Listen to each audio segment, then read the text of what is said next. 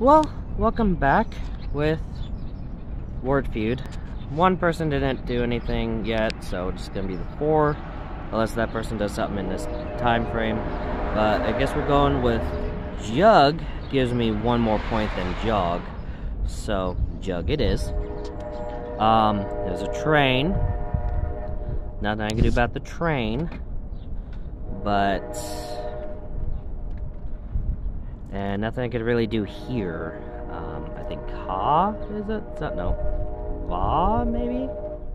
Like at this point, you just gotta try things and hope for the best. I think Ko. Nope. Nug. Nope. Um. And sometimes you just can't do anything, so you have to hit the pass, and it's annoying when you have to do that because you have letters that are not very usable. And this is one of those cases. Just have to pass until it's over. This person keeps swapping. I guess. I don't know, but.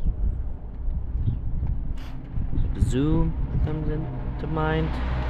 I could have put like an N. I could put none and got more points that way, but I didn't think about doing that. Um. Hex? Okay. And this is another one that started yesterday. That's where I got the Z from. Um, Hexed. So yeah, that's about it. Stay safe out there. See you in the next video. Bye.